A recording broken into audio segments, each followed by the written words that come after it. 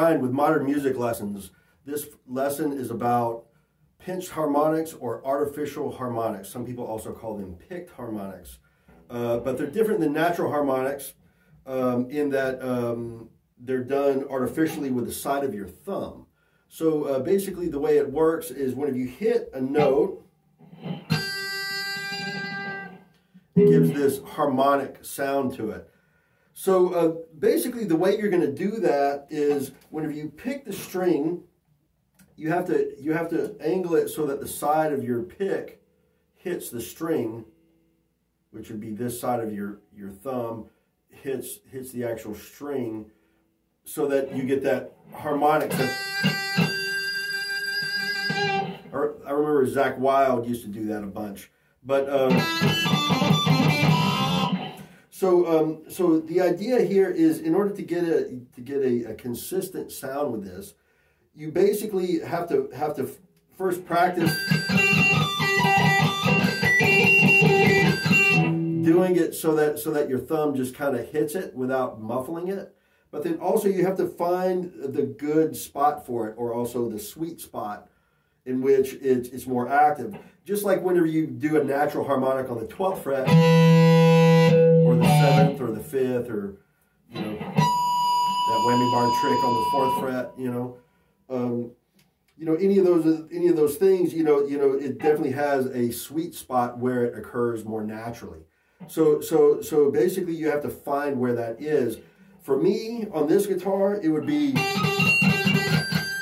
a little bit past this pickup. Like I know I can get that sound like I know I can do that there. But then if I pick further back,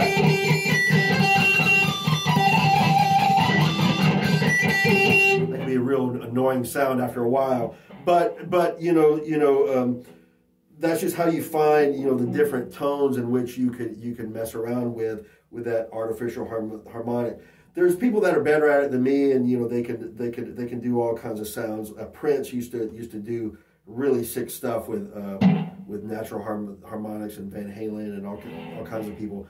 But uh, beyond that, uh, in order to get into uh, playing it uh, more natural, you know, once you get it on one note and you kind of find that sweet spot, then you have to kind of um, practice scale shapes or arpeggio shapes, any or licks or anything that you that you would utilize in your playing in order to um, you know to get a more uh, consistent sound with it.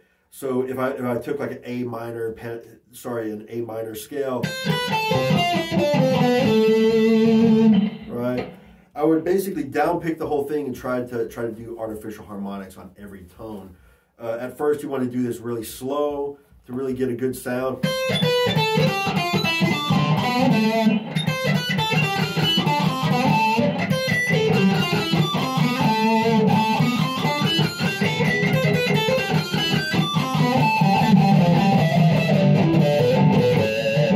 You know, like stuff like that.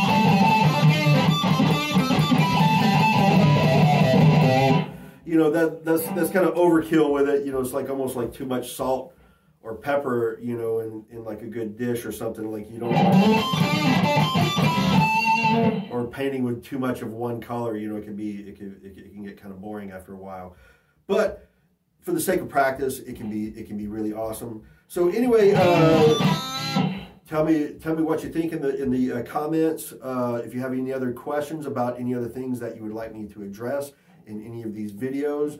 I'm trying to do these things once a week, so uh, it's easier for me if I have leads from actual people that want to learn things.